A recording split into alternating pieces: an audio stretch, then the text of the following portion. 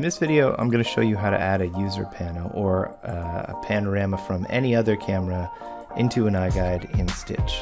Um, this is usually used for drone panos, but it, it, can be used for a panorama from any system, like a two lens sort of point and shoot um, 360 camera, or really anything else that makes the correct kind of image. So uh, I'm going to break it down for you right now. Okay, step one, open up your property in Stitch. Once you've done that, you're going to see the usual layout, data here, panoramas here.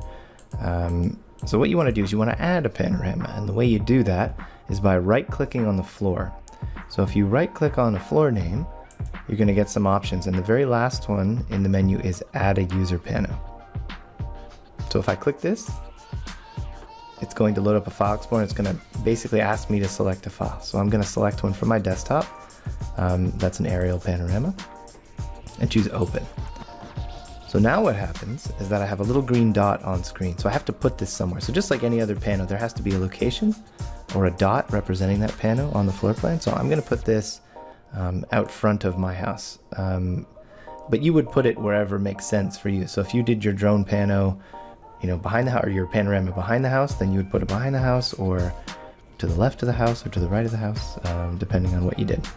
So now that I've done that, I have this aerial pano uh, out front of the house. Um, I can export and this will be included in the export data.